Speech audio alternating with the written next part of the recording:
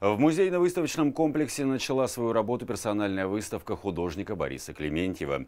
Представитель русского импрессионизма широко известен не только в нашей стране. Выставки картин Бориса Клементьева проходили в Италии, Франции, США. Теперь и люберчане могут познакомиться с творчеством известного художника. На открытии побывали и мы.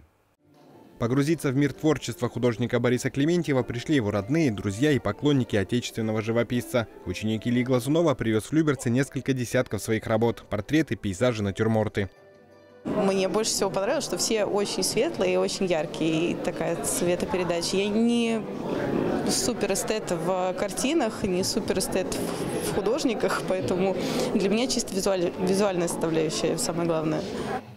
Главное место в большой экспозиции занимают цветы. Неважно, собраны они в букет или растут в палисаднике. В своих картинах Борис Клементьев прорисовывает каждый бутон, каждый лепесток. На открытии выставки заслуженная артистка России, мастер импровизации Валерия Беседина свое видение картины «Чеховские пионы» выразила с помощью музыки.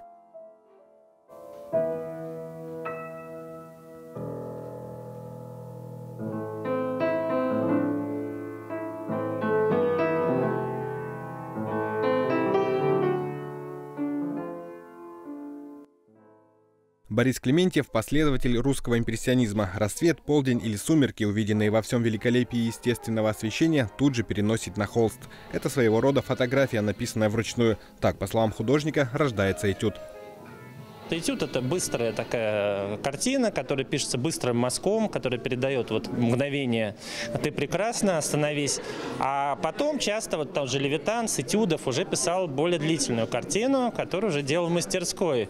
И большие картины, они, естественно, позволяют уже в мастерской прописать, сделать подробнее. Персональная выставка Бориса Клементьева будет открыта в музейно-выставочном комплексе до 31 марта. Григорий Ворванин, Денис Заугольников, телеканал ЛРТ.